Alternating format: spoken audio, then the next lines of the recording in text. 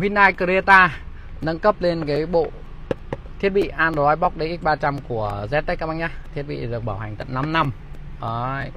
một cái thiết bị nhỏ gọn là nào nhưng mà nó sẽ biến cái màn hình zin như này thành cái màn Android thông minh.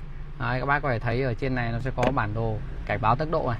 Đấy, đặc biệt là rất nhiều bác là đi vào những khu vực là mình sợ là bị bắn tốc độ đúng không ạ? Đấy, camera phản nguội thì hiện nay thì là các bác không lo bởi vì các bác đã có cái bộ bóc này các bác chỉ cắm cổng USB thôi. Nó sẽ lên như này và các bác chạy cùng đường nào có giới hạn tốc độ nó sẽ hiển thị trên này luôn. Đấy, rất là tiện và các bác chỉ cần ra lệnh giọng nói để tìm đường thôi. Đấy, bấm đây.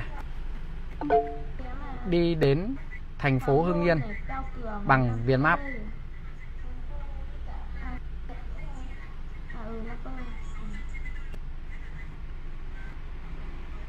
Đi đến đi đến thành phố Hưng Yên bằng Viền Map. Đang chỉ đường đến đi đến thành phố Hưng Yên trên ứng dụng Việt Map. giá gì ạ? Đi hồi xưa. Đó sau khi mà mình ra lệnh xong thì cái uh, màn hình này nó sẽ tự tạo cái uh, lộ trình đi đến cái vị trí mà mình cần đi đúng không? Đấy, và sẽ có hiển thị tốc độ đây. Bao nhiêu km nữa rẽ trái rẽ phải như nào nó hiển thị hết ở trên này và nó sẽ đọc hết cho các bác luôn.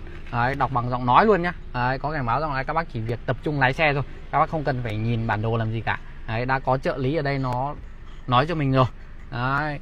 còn các bác muốn nghe nhạc đúng không ạ Đấy, đi uh, thì các bác cũng chỉ chạm vào đây và các bác ra lệnh thôi Đấy. mở nhạc bolero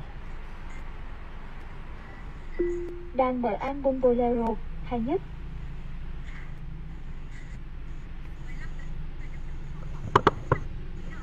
Đấy. Nó có thể mở trên uh, Zing hoặc là các bác không thích các bác có thể là mở trên uh, YouTube nha các bác nhé. Này. Mở video nhạc bolero. Đang mở video Bolero. Nó rất là tiện đúng không ạ? Ngay lập tức nó sẽ chuyển cái ứng dụng khác cho mình sử dụng ngay. Đấy. Các bác à, nào mà đang sử dụng xe mà có hỗ trợ Apple CarPlay Đấy, các bác có thể qua Akala để thử nghiệm trải nghiệm cái thiết bị này các bác nhá